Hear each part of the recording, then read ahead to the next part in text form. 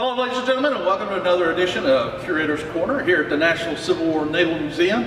I'm historian and curator Jeff Seymour, and look at this great set that we are coming to you from. This is a recreation of the USS Monitor. And of course, the Monitor is one of those great stories of the American Civil War. It's the story of advancing technology, the rotating turret, and all those other inventions that go along with that particular ship.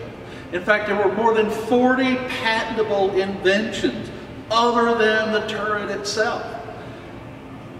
So the Battle of Hampton Roads and this ship are game changing when it comes to naval warfare. And how many things today have a turret on it? Things just turn around and around and around.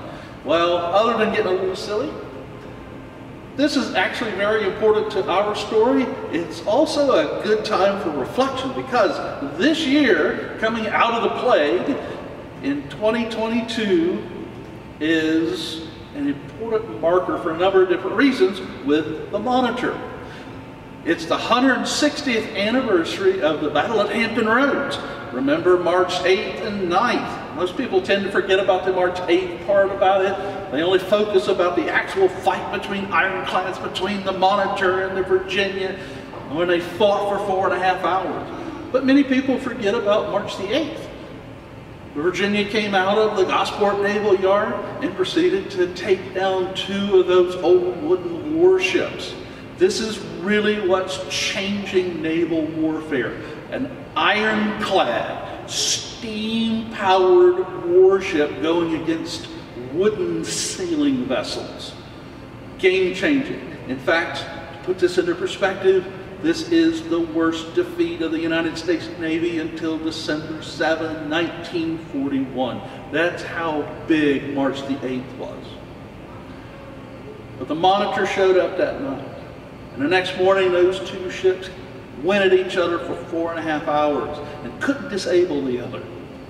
And within that 24-hour time span, naval warfare changed forever. So, 160 years. There's no crazy way to say that in Latin, oh, like sesquicentennial, 150th anniversary. That's okay. It's all right. We'll come up with something. We'll figure it out. 160 years. But 2022 is really important because in 1972, yes, 50th anniversary of the naming of the Monitor's wreck site as a cultural heritage site by NOAA. NOAA, the National Oceanic and Atmospheric, uh, those people that take care of weather and things by the government. NOAA, which was established in 1970, designates its first wreck site as a cultural heritage site for protection. The USS Monitor site, 1972. 50 years. All right. All right. So, so we got the anniversary, 160th anniversary of the battle, and now we've got the 50th anniversary of the designation of the Monitor wreck site as an important site to be preserved, protected, and so forth. Great stuff.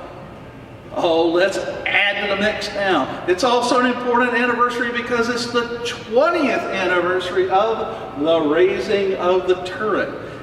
Yes, ladies and gentlemen, 20 years ago in August of 2002, the turret of the Monitor was raised from 240 feet off of the ocean floor. Now, as a little bit of a reminder, the Monitor sank in late December of 1862 in the middle, middle of a storm off of the North Carolina coast.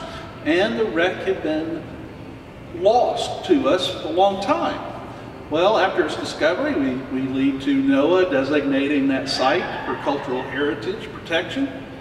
Well, in 2002, the technology, oh, that's crazy, isn't it? The Battle of Hampton Roads, the monitor itself is such a technological game changer, but in 2002 the technology became good enough for us to bring this complicated piece of machinery from 240 feet off of the ocean floor. That's just crazy. Look how far we've come in that 160 years. So this is 160th anniversary of Battle of Hampton Roads, 50th anniversary of the naming of the NOAA site, and the 20th anniversary of the raising of the turret. And if you want to see the real turret, it's at the Mariners Museum in Virginia. They've got a great facility there. Not as good as ours. I'm a little biased in that, in that regards, but go see the turret. It's well worth the trip. Well, ladies and gentlemen, thank you for viewing this edition of Curator's Corner. And remember to hit that like button below and make sure you catch us on all of our media platforms and come see us. Check out our website at www.portcolumbus.org.